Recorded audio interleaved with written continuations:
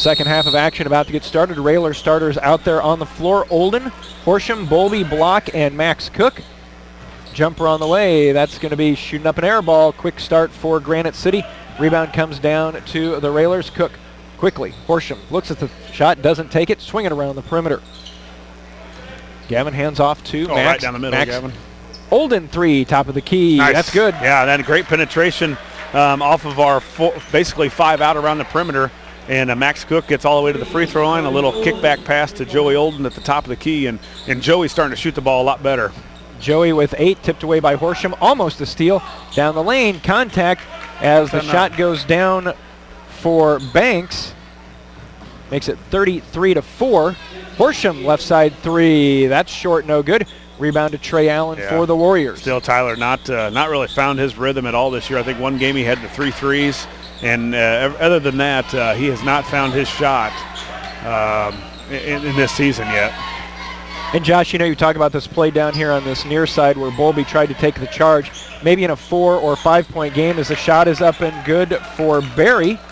It's now 33 to 6. You wonder if in a four or five point game they do call that charging foul, but with the margin the way it is, they're just going to kind of let it go as Bowlby fires a three and it's off. Horsham the rebound, that's no good. Rebound down to the Warriors. Well, I'm, if I'm an official though, and, and I got a guy that's going to give up his body uh, to get you know a big collision uh, to try and take a charge, I don't you know to me I don't care what kind of score it is. The guy put his uh, you know his health and uh, himself on the line. Another steal by the Raiders. Joey comes out with it. Gavin hits a three from the left side. Yeah, keep moving. Uh, now the threes are starting to fall. Uh, Bowlby had a wide open three. Last possession wasn't able to get it down, and then Tyler did a good job of going to the boards.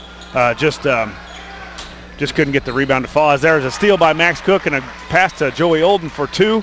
As the uh, the defense keeps coming, and, and when will coach? Uh, usually in high school, it's about the fourth quarter of when they'll call off the full court. 38 to 6. Olden as we're under six minutes to go in the third. Horsham, can he get one this time? That one spins off Yeah. no good. And he And likes rebound, that. rebound foul for Gavin. And he likes that corner too. That's his. Uh, that's his corner. That's where he loves to shoot it from. And again, uh, and you see the Railers uh, giving him fives, uh, trying to get some, trying to get him going a little bit because they know uh, they know he needs. Uh, they need him to, to knock a couple threes down each game. Bobby Donofsky into the contest for the first time for the Railers, the six-foot senior. Railers already with eight threes here on the afternoon. Barry off the glass and good. Yeah, now they're going to press, and uh, you know it, the Railers are really hard to press because they move the ball. Everybody can handle the basketball, and they and they they uh, they're they're confident with it. Down in the corner, Olden back out to Cook. Donofsky on the wing, back out to Gavin, top of the key. Now over to Donofsky. He thought about the three, kicks back out to Gavin. Yeah, man. Bowlby just keep moving in the middle. He could be wide open. Fires a three. Off the front of the rim, no good. Rebound down to Granite City. Five minutes to go in the third. Railers on top by 30, 38 to 8. Barry again flips it up. That's no good. Allen comes down with it over Donofsky. He goes up and he's going to be going to the line and he will be shooting two.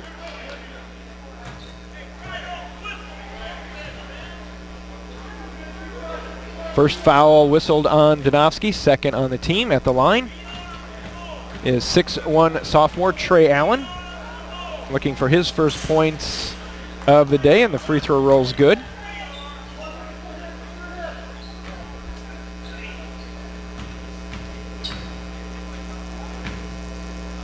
Second one. That one will bounce off no good. A little bit more of an effort we've seen from Granite City. Yeah, they've gotten to the hole. They're they're attacking a little bit more in the first half. They just couldn't get any, you know, any of their layups or their shots to fall. And I think they're, you know, maybe their coach uh, settled them down a little bit. Gavin, top of the key three. That won't be any good. Olden tries to get the rebound. He does. Flips it over to Take it up, Bowlby. Back to Gavin. Open top of the key three. That one's off the left side. No good. Bowlby down there still trying to fight for it. Ball's lost out of bounds. And it's lost off of Bowlby. It'll go back to Granite City. Yeah, I love to find Bowlby uh, around that block where we, we found him a couple times early in the first half, uh, getting open and uh, continue to keep the ball moving and, and hopefully find. We've we've just gotten a lot of threes lately here in the first uh, or the third quarter. Um, we're shooting a lot of threes. 4.15 to go in the third. It's Lincoln 38, Granite City 9. Almost tip away. Another steal. It is. Olden head quickly to Max. Max with a spin move in the lane Nice. off the glass Yeah, that was a pretty move and a great pass up by Joey Olden. A steal by Donofsky, uh, a tip away by Donofsky, a steal by Olden. He fires it down almost like a quarterback to a wide open receiver, and uh, and, he, and uh, Max Cook did a great job of getting to the basket. Nice move underneath. That's up and good for Ron Allen. His first two. It's 40-11, but quickly down court. Joey scores on the layup. Yeah, nice pass. Uh, nice pass, a football, baseball pass from, from center field by Gavin Block to a uh, cutting wide open Joey Olden. Bowlby gets in the way. Contact, and now Ed's going to pick up the foul. That'll be Bowlby's second, third on the team as Conrad gets ready to check in for the Railers. Three and a half to go in the third. A little bit sloppier on defense, I think, for the Railers. Intensity there pretty uh, pretty much is the same as the first half, but uh, we're allowing now Granite City to get to the hole a little bit, so they're having an opportunity to score a little bit more. Barry's first free throw is good. He's got five all here in the half. And Josh, you talk about staying out of bad habits in games like this. The way Granite City's been able to get to the basket, starting to lean to Right. those bad habits. Yeah, yeah, and just uh, not not staying in front, not uh, not denying, not getting out a little bit more. So the Railers got to continue to do defensively what they did in the first half and uh, keep that intensity. Three and a half to go in the third. Adam Conrad in, Will Cook in for the Railers. Lincoln on top 42-13. We thank you for joining us here on a Thursday. Donofsky skips it across now to Max Cook. Gavin. Railers have no difficulty breaking the press. Donofsky fakes the three, drives in, gets it over to Max. Yeah, keep the ball moving, get it in the middle. Gavin spins, kicks it out to Will, thought about it in the corner, didn't take. Looked like Gavin had Adam Conrad cutting right to the basket. There it is. Go Adam up, with the catch. Back out to Max. Max will take it to the basket. Now kick it out to Gavin. Corner three on the way. Spins out no good. Conrad, he tried to grab the board, Yeah. tipped it out, but back to Will Cook. Yeah, great ball movement again by the Railers. Gavin, and foul's going to be whistled on Granite City. 2.56 left in the third. Railers up 29. Foul was on Ron Allen, his first, first on the team. It's only the second foul that's been whistled on Granite City for the entire game. Max skips it all the way across. Gets it over to Gavin. Gavin with a nice screen from Adam. Kicks it out to Will. Donofsky. Max will bring the dribble out near the timeline. Two and a half to go. Donofsky, high arcing three Yeah. is good. Yeah, and a nice screen down by Conrad. He just uh, basically sat down on the block and, and almost acted like he was posting up, and that guy could not get around Conrady, and uh, Donofsky's wide open in the uh, corner. Take a charge. Barry goes in. That's no good. Rebound down to Allen. Ball loose still, but Allen gets it up and in. Allen with three. So the Railers uh, right now hanging with that uh, just around that 30-point margin, 45-15. Two minutes to go in the third. Gavin turns at the elbow. Donofsky can hit two in a row. Spins off, no good. Nice. Cook they're blocked with the rebound. Now back out to Max Cook. Max down the lane. Contact. Yeah, good job, and uh, I love the way the Railers are have been on the offensive boards today. Now, I think we had seven at half, and there's another two for nine for the Railers on the offensive rebounds. And uh, if you can just get um, you know seven to nine of those every game, you know, you just get yourself uh, an extra opportunity to score. Not sure why Max is not going to the free throw line, but 140 to go in the third. Railers up 45-15. Max drives the lane again. Had his layup knocked away. Nice defense by the Warriors as they head this way. Three on the way. That's up and good. That is Barry. Nine points all in the quarter. Granite City's probably be going in, where was this in the first yeah, half? if they would uh, would have scored a couple more in the uh, first half, they would have been a little obviously a little closer. Cook to Cook. Max over to Will. Donofsky, Cruz, and Conrad are on the floor with him uh, for the Railers. I think like coach always likes to try and keep either Max or Gavin in that uh, in the game where they can uh, distribute or just have that confidence in, in that ball handler. Will's three from the corner is no good. Bounce ahead. Nice catch by Barry. Saves it inbounds, but saves it right back to Max. 40 seconds to go. Railers have a two on three. Cook flips it over to Will Cook. Underneath. Max flips it quickly to Cruz. Nice ball movement from the Railers. Conradi, 17-footer. That's no good. Cruz trying to fight for it. Conradi trying to fight for it. Bodies hit the floor. Nothing being called. And I think it's first down for the Railers. now, last time when we when we dove on the floor, Conradi got a foul down here, but uh, their guy just went and trampled on us, and uh, again a jump ball.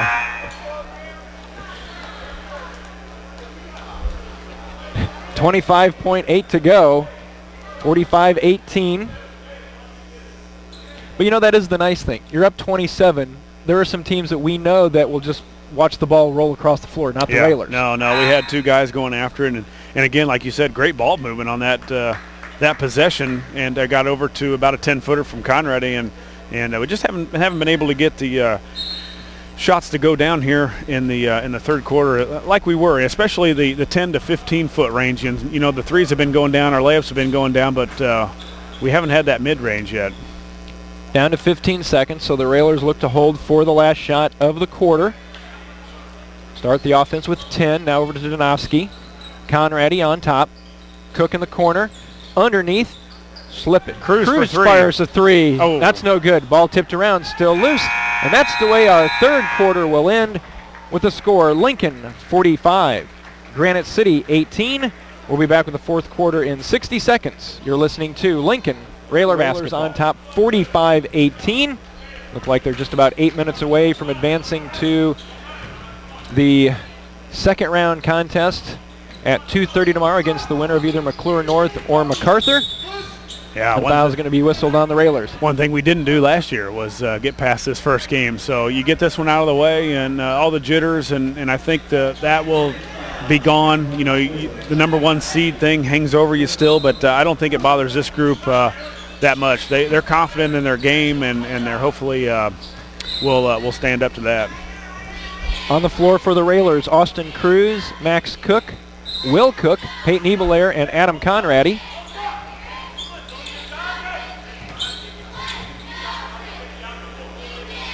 Two Railers in double figures so far this afternoon. Joey Olden leading the way with 12, Max Cook with 11. Well, they really get a lot of. There again, Ebelair gets his hand on the basketball. Again, We don't get the steal, but um, you know, quick hands and active hands. Three from the right side, spins off no good. Will Cook tracks down the rebound. Quickly across the timeline, down the lane, Nice. flips it up off the glass, Oh. won't go down. Yeah. Nice, uh, nice rebound for one on the end. He traced it down in the corner, and Will went coast to coast, picked up the foul, almost got the uh, basket to go, but Will's going to go to the free throw line for two, and um, you know another one of those weapons coach can bring off the uh, off the bench. Cook's first free throw on the way, off the front of the rim, no good. Will came in a 67% free throw shooter.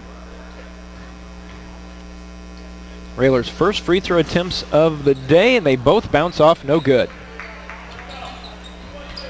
So the score stays 45-18. Railers up 27.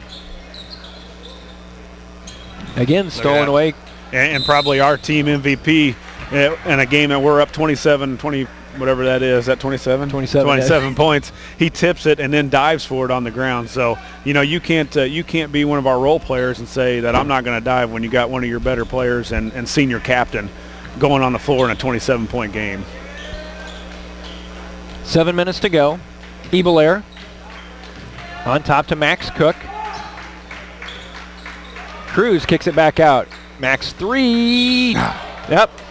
It hit the rim Hit and, and the then it hit the standard Yeah. and then fell through. So it's out of bounds and Max will take a seat as Jordan Perry into the contest for the first time. I think Max knew he was coming out, so he was going to let one more fire before the day was over as Perry checks into the game. So uh, we've got junior, junior, four juniors and a senior. When you've got uh, Will Cook, Peyton Ebelair, and uh, Jordan Perry, along with Adam Conradi, and then the senior Austin Cruz. But Granite City into the front court. Firing off a three. That spins off no good. Fight for the rebound. Can be tracked and saved. It is. Nice job by Austin Cruz. Head quickly to Ebelair. Raylor's first game this year not at Roy S. Anderson. Yeah, you're right. First true road game of the year. I guess it's not true, being a neutral site, but uh, first time they've had to get on the bus or the vans or Yeah, whatever they brought here. Yeah, Mother Nature getting in the way of the contest that uh, would have been down at Chatham. But uh, certainly no uh, no ill effects here on the road as Ebelair fires a right side three and connects. Yeah, Evil I think, uh, I don't know if he's had many threes before this game today, but uh, he got one earlier in the contest, and there, that was a nice one. That, that one was from six or eight inches behind the three-point line, so uh, he's one of the guys that can go out and, and stretch the floor for Coach Al. 5.40 to go. Railers up 30. Yeah, for Ebelair, he came into the contest with one three on the season. He's already hit two here today. That's the 10th three the Railers have hit in the contest this afternoon. been able to do it from uh, a number of different areas today, and I, and I think you give a lot of credit to the way they've changed their uh, offense a little bit, where they're trying to uh, to push the floor, push the push the ball up the floor as Conradi steps up from about 10 to to hit the baseline jumper. But they started to push the basketball more. Guys were getting up and down the floor a little more. Now you may need to to uh, substitute a little more uh, with you know, some tired guys playing as hard a defense as we do. But uh, boy, it's a lot more enjoyable to watch. Enjoyable to watch, and the, and the guys uh, look like they're having a lot of fun playing it. Three is no good from Hopkins. Ebelair into the front court, down on the corner. Peyton thought about it. Kicks back out to Cruz.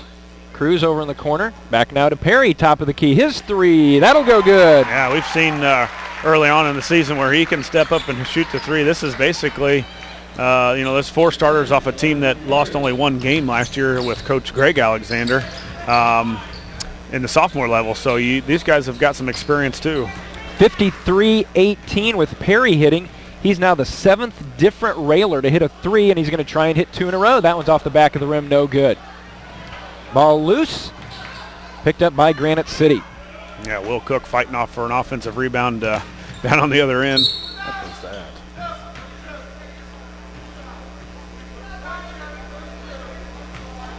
You know, it's interesting. We talk about, uh, you know, having 11 threes on the game. Seven players have hit them. And the player that was leading the team coming in with made threes, Bowlby, does not have one today.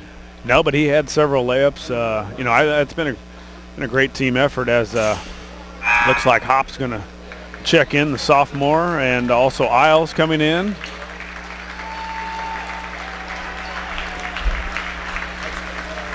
We see KJ Fry checking in as well. Yeah, and if you notice the running clock too now, Yep. uh, 30 after 30 points. Especially, I think they do it as I think in a normal game you have to agree on it, but in tournament, uh, in order to keep these games moving, uh, they they do implement a 30 point uh, rule where the the clock only stops timeouts uh, and things like that. 53-19 on the made free throw. So Hop, Cruz, Perry, Isles, and Fry on the court for the Railers. A senior, uh, a junior, and uh, three sophomores, I believe. Nice. Underneath, nice, pass. Cruz to Hop, lays it up and in. And, and what's nice, you know, you've got Hop, who's a sophomore that, that received the pass from Cruz, but they all run the same thing. So they all know exactly what to do, where the passes are going to be. Um, you know, the, the program is built. If a freshman level, you're going to know the same thing as the varsity level, and, and they can implement in different age groups at any time, and they know exactly what to do. So senior to sophomore, and a great back cut by Hop. Foul was on Perry. His first. 55-19, Railers up by 36. Yeah, and I don't know that there's a better athlete on our in our program than where's the number five. Uh, just a sophomore, but you want to see a guy run when he gets the ball. Uh, he can flat out run, and uh, nice to see him getting in. Bobby Donofsky checking in for the other senior, Austin Austin Cruz.